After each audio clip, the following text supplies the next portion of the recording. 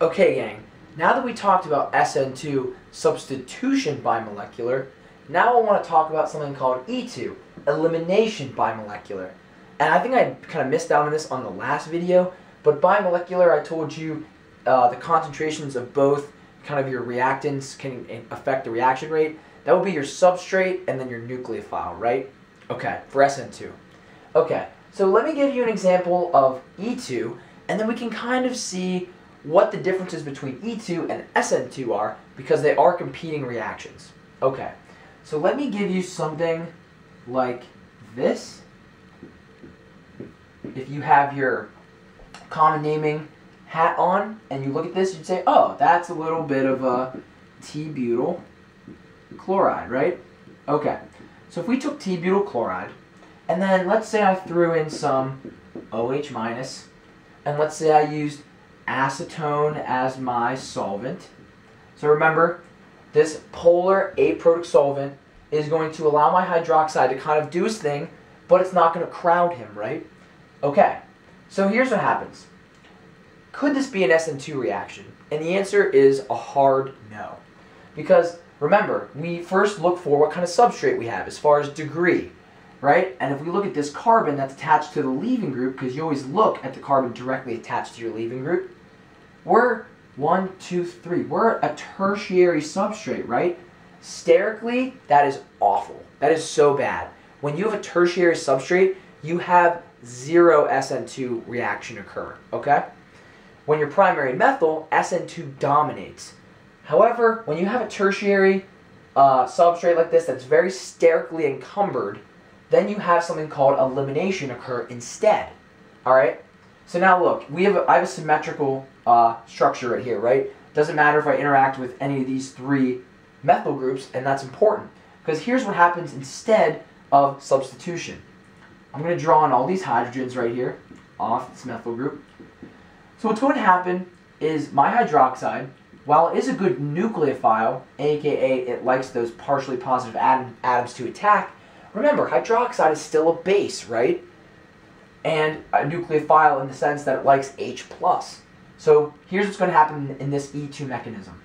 I'm going to have my hydroxide grab H plus off of a neighboring carbon, straight, straight neighboring carbon from my substrate carbon. I'm then going to take these electrons that were in this bond from the, from the proton I'm grabbing, and I'm going to swing them down like this. I'm going to form a double bond between a carbon, a neighboring carbon, and my substrate carbon. At the same, this is all happening at the same time. While that is occurring, right, I'm going to break the octet rule unless I do something. Because remember, this carbon is bonded to one, two, three, four things. If I'm going to add a double bond here, that would be five. I need to, I need to break a bond. Well, luckily, we established that we need to look for good leaving groups, and Cl minus, if we kicked off this chlorine, would be a good leaving group by itself. So let's kick him off. Okay, so just to recap, because we have three arrows going on. OH minus is taking two electrons and is going to grab this H plus. Just the H plus, no electrons coming along with it. The electrons that were in this bond between this carbon and hydrogen are going to make a double bond right here. While that double bond is forming, to avoid breaking the octet rule, we're kicking off a good leaving group. So here's kind of the result. We make isobutylene don't have to worry about that common name. Just, that just is a common name. And we also make Cl minus. And if you want to kind of list everything, we technically make water. But I'm really focused on this product. Whenever you have an elimination reaction, here's kind of what that means. You're eliminating a bond right here. You're eliminating H+, plus. you're taking these electrons and forming a double bond here and eliminating your leaving group. So you see how that kind of makes sense?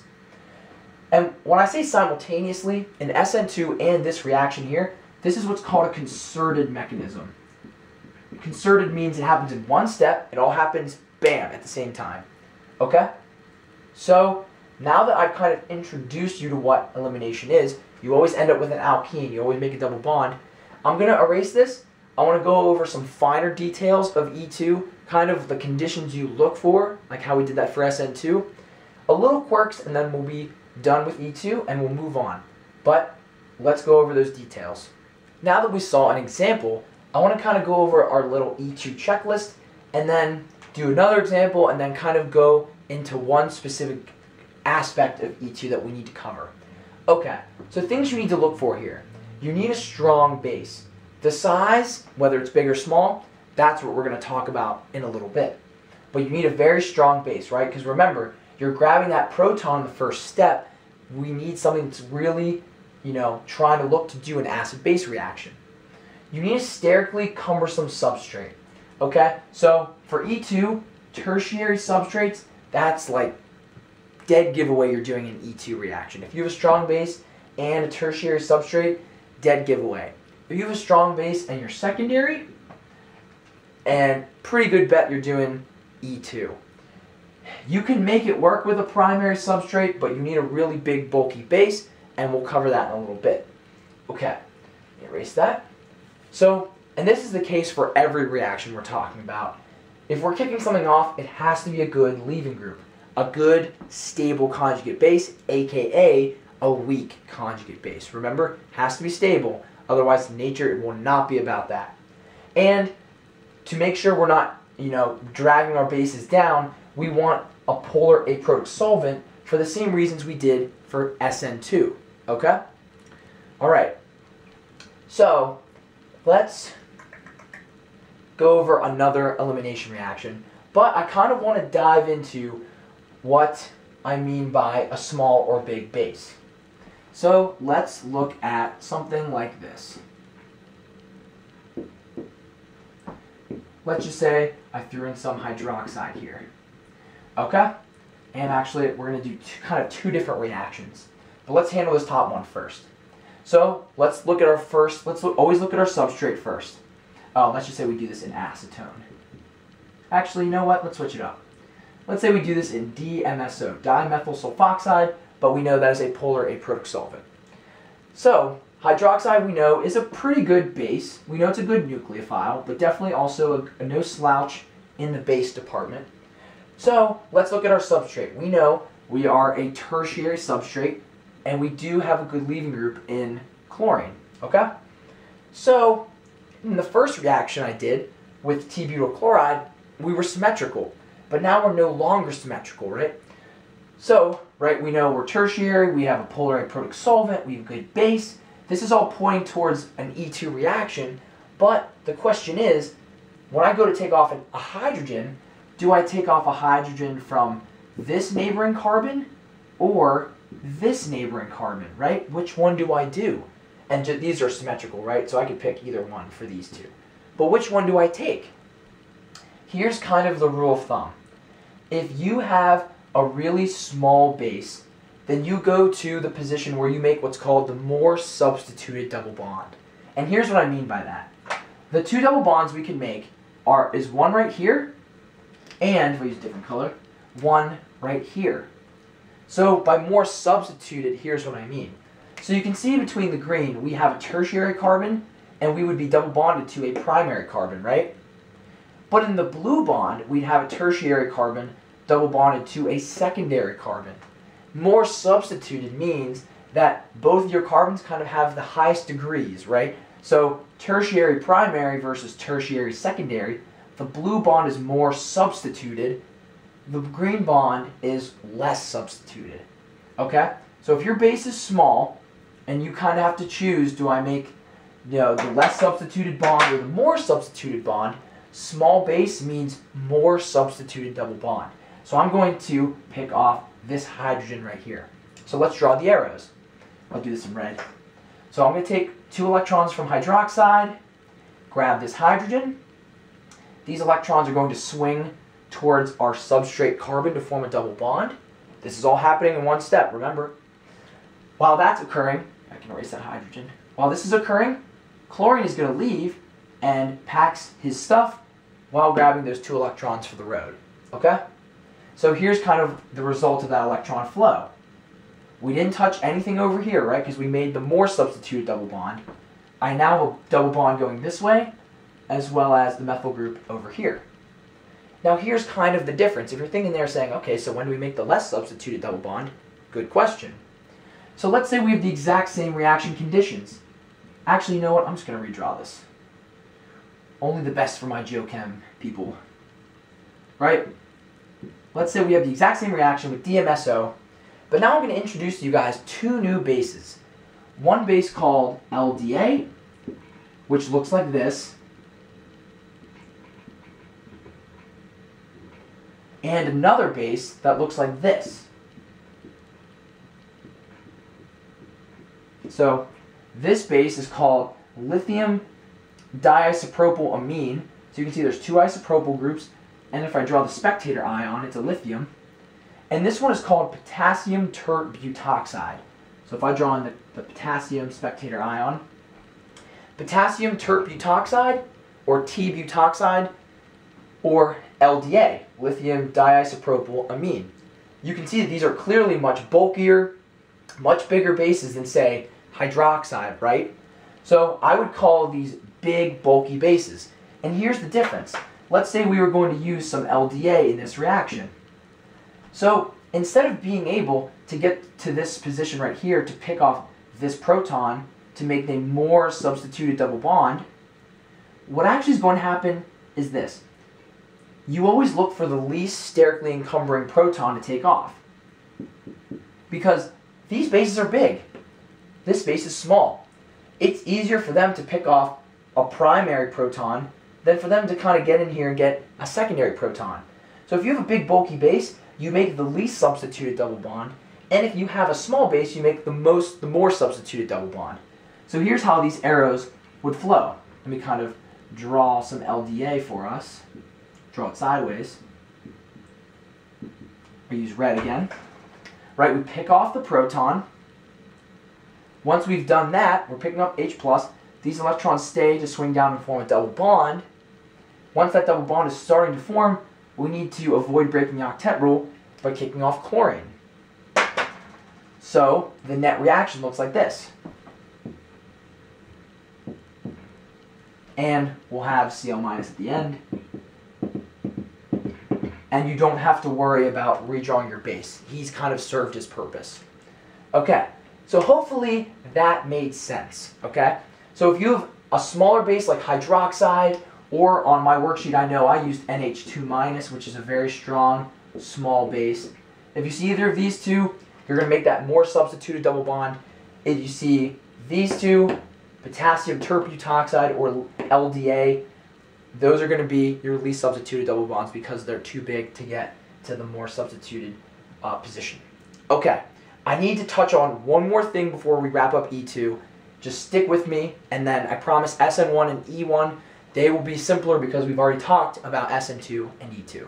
Okay, gang, give me a little bit more focus, a little bit more energy, and then we'll close the book on E2. All right, so if you can see these two reactions, let's focus on the top one first. And let's prove to ourselves that we're dealing with an E2 reaction here. So let's look at our substrate. We can see this carbon is attached to a Br, which is a good leaving group. So we have a good leaving group.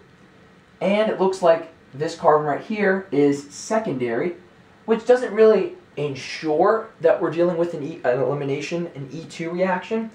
But once we see that secondary carbon, that secondary substrate, we can see we're dealing with NH2 minus, which is a vicious base, right? Loves ripping off protons. So you can bet that this is going to be an E2 reaction. Also, you can see we have DMF, dimethylformamide, which is polar aprotic, which is charged species friendly, but won't kind of crowd around him and prevent him from doing his job. This is definitely an E2 reaction. Okay, so why am I kind of showing you guys this? Well, here's something we need to go over, and it's called a condition you need to fulfill called anti-periplanar. Okay, so if you can see between these two reactions, I'm going to tell you that the elimination product you will get, because we expect the most substituted double bond, right? The more substituted double bond in both of these scenarios, because we have a small base, right? And we can either make a secondary tertiary double bond or secondary secondary double bond, right? This would be tertiary secondary, secondary secondary. But here's what you're going to see in these two reactions.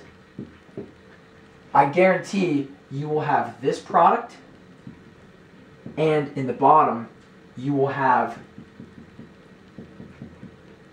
this product. And there's a reason for that.